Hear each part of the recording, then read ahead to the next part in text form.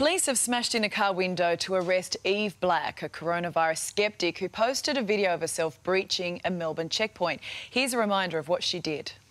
I don't need to answer your questions. No. Have I committed a crime?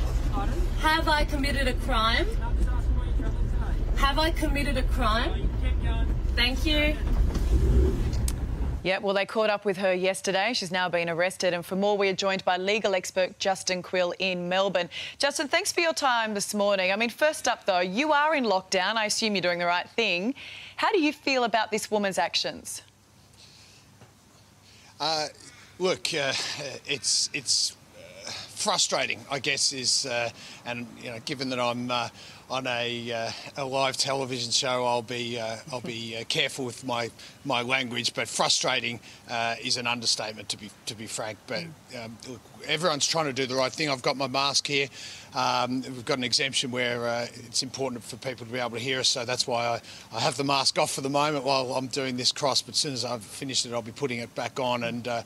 Uh, if everyone does the right thing, you know, we will get on top of it. But when you see people flouting the laws, and especially we just heard what we heard about uh, the, the, Queensland situation, um, it is uh, frustrating to say the least. Yeah, I mean, it's appalling action. I mean, that was video that was taken last week. She was so proud of herself for that. Yesterday, police caught up with her. They smashed her window when she again refused to provide any details. Plenty of people this morning saying good on them. What's she being charged with? Yeah. Yeah, and look, it's important to note that that is a, to, what happened yesterday is obviously a very separate incident to the one that we saw the video of uh, a moment ago. Look, she's been charged, uh, she's been released, uh, and there's a summons on its way to her. So a little bit like the checks in the mail for her. Unfortunately for her, the uh, the uh, the summons is in the mail. It's a driving offences. It's failure to produce a licence uh, with um, identifying details, and also failure to comply with the directives of the chief medical officer. Um, so that's what she's uh, she's going to be charged uh, with. Well, we've been talking about these two teenagers in Queensland and whether or not the punishment fits the crime.